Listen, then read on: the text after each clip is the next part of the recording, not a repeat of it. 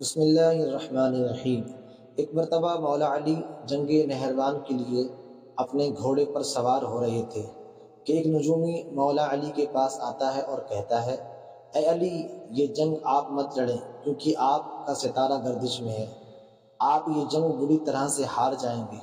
मौला अली ने उसकी बात सुनकर आप घोड़े से नीचे उतर आए और उस नजूमी को कहते हैं अच्छा तुम सितारों का हाल जानते हो? उसने कहा हाँ। मेरा यही काम है।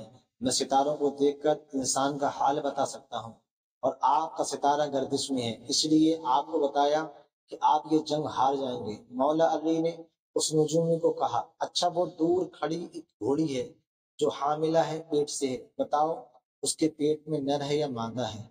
अब वो नजूमी खामोश हो गया। मौला अली ने फिर से फरमाया अच्छा सब सितारों का हाल जानते हो? ये तुम्हारी नज़रों के सामने है। तुम हाल, इसका हाल भी नहीं जानते।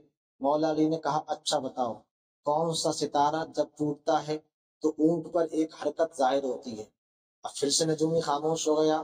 फिर मौला अली रदी अल्लाह ने फरमाया अच्छा इस मेरे घोड़े के पाँव के नीचे कौन सी चीज़ दबी हुई है बताओ? फिर नजूमी खामोश हो गया।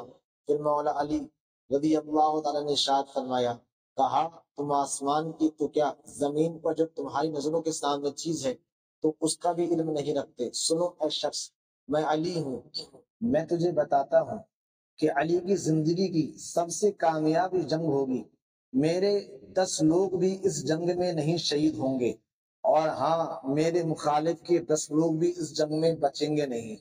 और फिर तारीख में ये लिखा हुआ है कि ये जंग नहरवान में मौला अली का कोई भी साथी शहीद नहीं हुआ और मुखारिफ के जितने अफराद थे, उनमें से सिर्फ़ नौ आदमी